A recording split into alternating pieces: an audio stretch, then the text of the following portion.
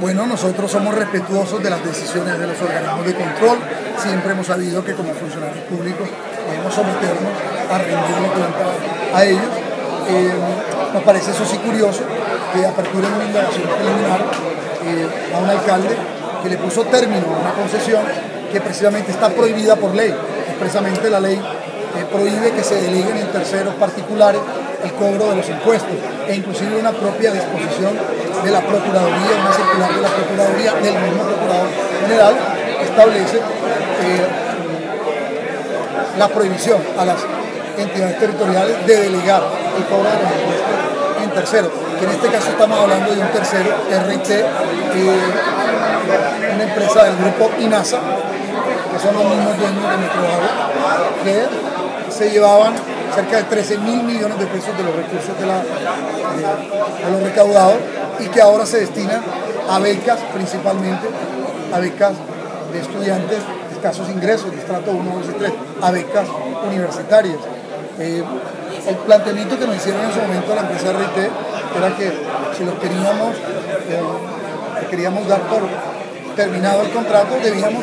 pagarle una especie de indemnización de 30 mil millones de pesos. Con eso, obviamente lo que procuraban era amedrentarnos para que no se avanzara en,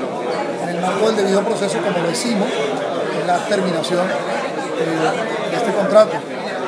Lo propio han querido hacer con Metroagua, que ahora reclama 60 mil millones de pesos. Y no nos explica de dónde lo justifican cuando todas las inversiones se han hecho con recursos del orden nacional y distrital y o aún de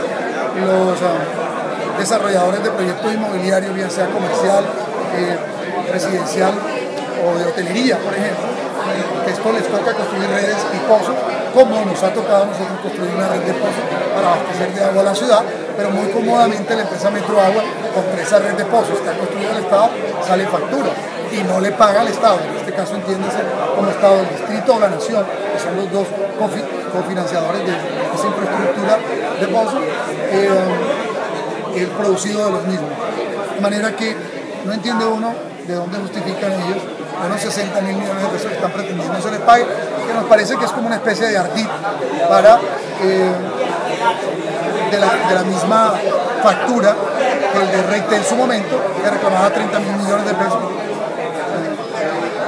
a riesgo de eh, impetrar algún tipo de acción legal contra el distrito. Y con eso entonces enviar una señal de que eran intocables y no se les podía sacar. Es lo mismo que está haciendo Metro Agua y entonces ahora se valen de organismos de control donde ponen sus quejas disciplinarias. Eh, y bueno, nosotros somos respetuosos de estas actuaciones, ahí nos vamos a defender, vamos a continuar defendiendo los intereses de la ciudad, vamos a continuar actuando en defensa de los derechos eh, de la mayoría de los recursos públicos, que es finalmente lo que hemos hecho nosotros. esperaríamos que aquí la Procuraduría, además, ojalá, le aperture investigación, eso sí, a la gerencia de RT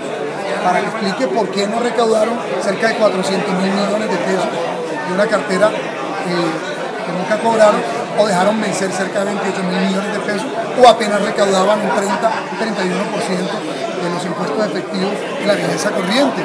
¿Cierto? Que den cuenta de esto. Y también, ojalá aperturen investigación, porque como son prestadores de un servicio público que se financia con recursos públicos, perfectamente la Procuraduría puede investigar, que investiguen a Agua, ¿cierto? Eh, en relación a la mala prestación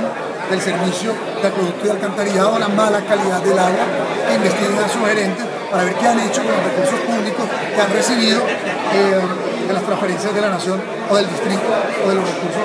de los subsidios, o que expliquen por qué entonces han, siempre eh, aducen que no hay utilidades en esta operación, pero entonces si vienen a querer facturarle a la ciudad unos 60 mil millones de pesos de inversión que no vemos de dónde han salido. Eh, sí esperaríamos que aquí también eh, el organismo de control pues eh, actúe con absoluto equilibrio, ¿cierto? Investigando a estas concesiones y no solamente al alcalde